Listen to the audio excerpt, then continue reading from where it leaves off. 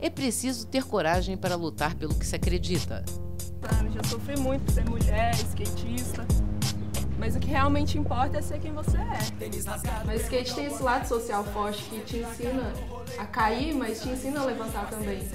Esse grupo de jovens vai enfrentar uma construtora para impedir a demolição de uma praça na série. Meu skate não é enfeite. De segunda a sexta, 15 para as 9 da noite.